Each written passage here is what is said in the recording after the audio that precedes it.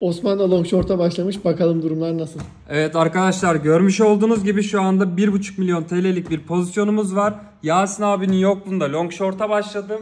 Trader Wagon üzerinden işlemlerimi yapıyorum. Şu anda yaklaşık 80 bin TL zararım var. Bunun sebebi de CZ, Binance bunların food'u var. Şu anda zarardayız. Siz de bizi kopyalayın. Kâra geçeceğiz.